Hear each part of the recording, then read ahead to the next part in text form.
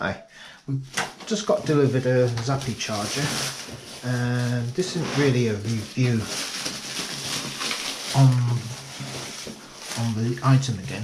More or less the troubleshooting guide on on this product. Uh, as you know, Zappi is a special car charger which charges up the car. Uh, normal car chargers for home home use is uh, 7 kilowatts.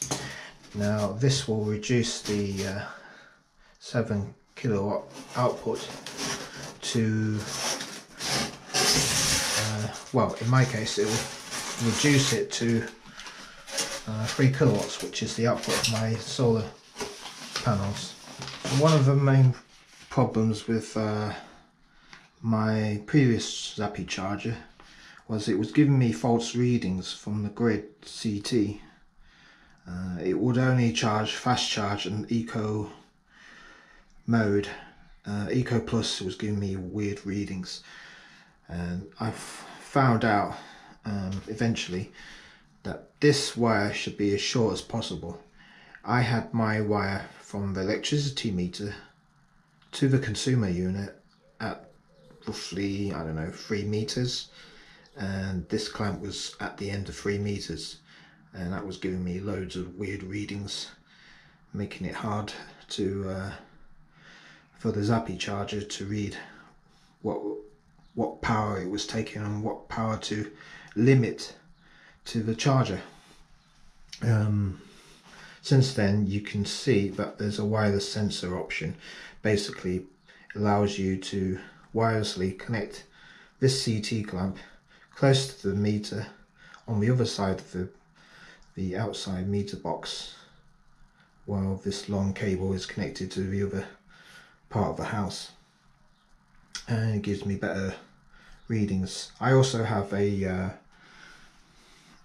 a uh, solar array which uh, I've ordered another CT clamp. I think it was nine pounds, ten pounds, just to get this. So it will give me a readout of the solar power going in and gives me better optimizes the Zappi charger for full solar charging.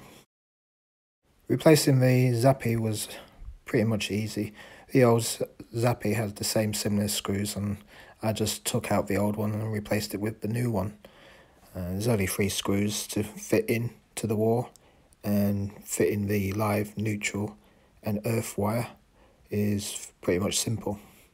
Remember to use the CT2 wire into the new system as well, which means you have to pull all the wires together. Right, so I've connected it up and this is what I got an exclamation mark on the grid uh, which is not connected because uh, it's the wireless Harvi that should be connected to that.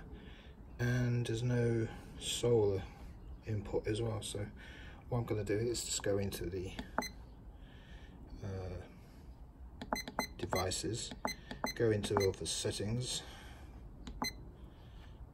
uh, set the time and date later on go into advanced put in my password. And then um, yeah go into the CT inputs. Uh, right so I want CT1 as off.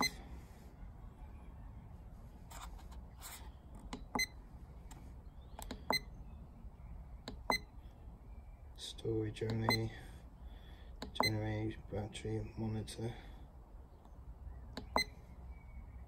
AC battery. None. Get out of that. Go into CT2 it should connect. And then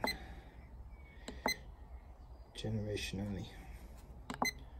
Type that in get out. So if I just double check that. There you go. Getting the inputs. Right, I'm just to have to uh, do the same this time for the um, connecting to the CT1 which is basically similar. Uh, let's see link devices there you go. Devices. That'd be the Zappi. so I just want to be in pairing mode. Button. And it should flash blue here. Um, it's already connected to the meter. So all you have to do is press that and make sure the Harvi is in um, pairing link devices. Just uh, click onto it. Devices. Check that out. And go into the Harvi itself. And you have all these uh, things readings. So it'll be a single phase. And I've put it on CT1 so I want to put it on and change it to not actually it is grid isn't it? So grid and that should do it.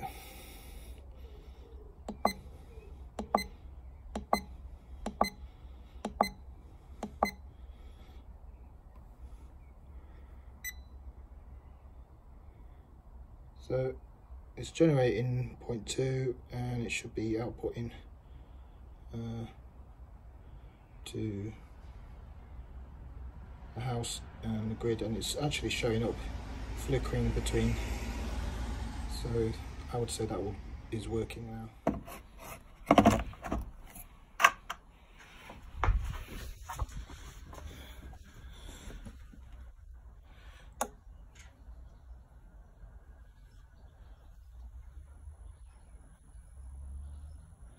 So there you go.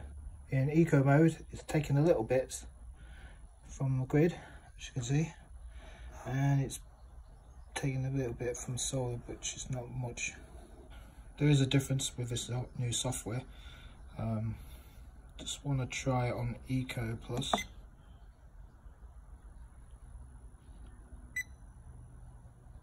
At this point in time, there's a 30 second delay where I have to wait until the mode changes over it's paused because there's not enough sun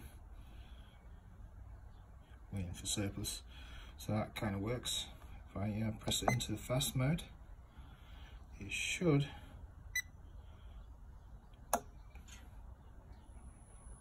go up to 7 kilowatts now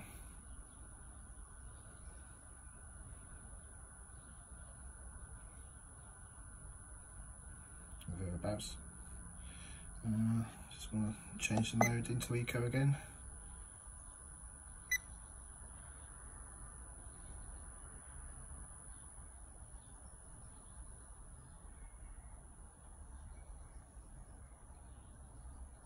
Reducing it down.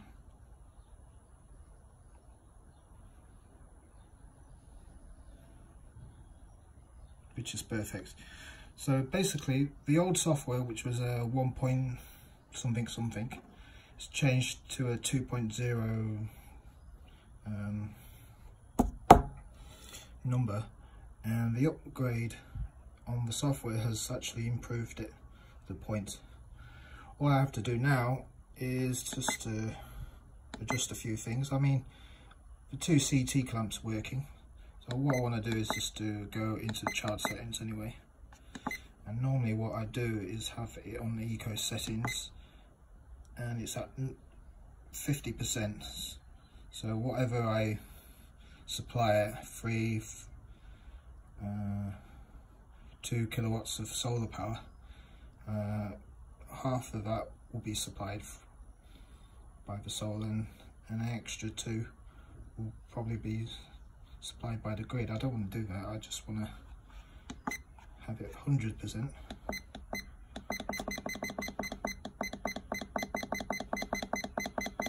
At least 80. And I should do it. Um, it's a dull day now. You can see that. Awfully dull. So what I'm going to do is just um, leave it at 80 uh, it should supply me with at least 1.5 kilowatts. At the moment uh,